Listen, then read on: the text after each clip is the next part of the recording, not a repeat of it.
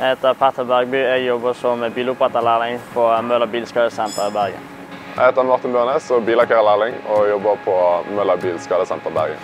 Jeg heter Eirik Agnes Feit og jeg går i lære som biloppretter hos Møller Bilskade Bergen.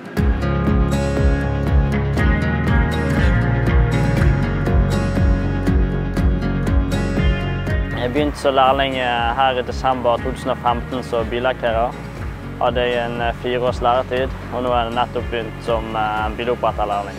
Jeg begynte som lærling i august 2019. Jeg tok først fagbrev som bilmekaniker hos Møller Bil Minde. Så syntes jeg at det virket interessant å være biloppretter, og da begynte jeg her som lærling i august 2019. Det jeg syns er det mest interessante, det er å gjerne rette og se resultatet etterpå. Kan du se på bilen og tenke det der har jeg gjort. Men hverdagen min ser veldig varierende ut. Fra småskader til store skader. Så det er jo nytt hver dag. Jeg får en jobb, og så utfører jeg den sammen med han som har ansvar for opplæringen min. På den måten så lærer jeg effektivt og har en, en trivelig hverdag. Jeg syns det er veldig kjekt å ta læretiden min her hos Møller, og jeg trives veldig godt på jobb.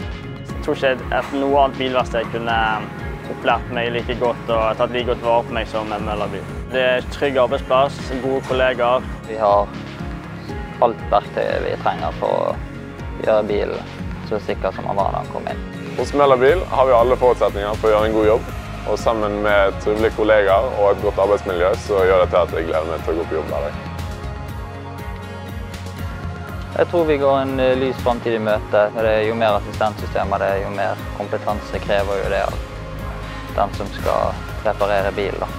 Det blir mer teknologi og mer diagnoser, men det skal fortsatt et godt stykke håndverk til for å reparere en skadet bil, selv om det, han er høyteknologisk. Kvalitet er og blir enda viktigere i fremtiden, og vi som skadespesialistsenter har stort fokus på det.